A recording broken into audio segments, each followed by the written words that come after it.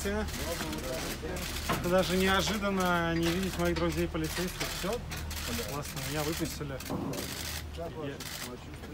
все очень хорошо, спасибо большое. Я, честно говоря, а, не знал, удастся ли мне сегодня выйти все-таки и попасть домой. Но я хочу в первую очередь сказать спасибо большое всем, кто поддерживал, а, передать огромный привет тем, кто до сих пор, я так понимаю, в регионах находится под арестом, сказать большое спасибо всем, кто участвовал в наших акциях и сказать, что, ну, мне кажется, за те 50 дней, которые я здесь сижу, мы увидели еще много доказательств того, что этот режим окончательно деградировал от провалов а, во внешней разведке до провалов а, в космической отрасли.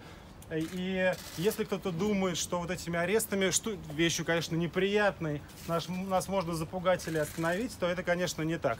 Спасибо большое, ребята. Теперь я очень сильно, очень сильно хочу оказаться домой. Спасибо. Алексей, собирайте.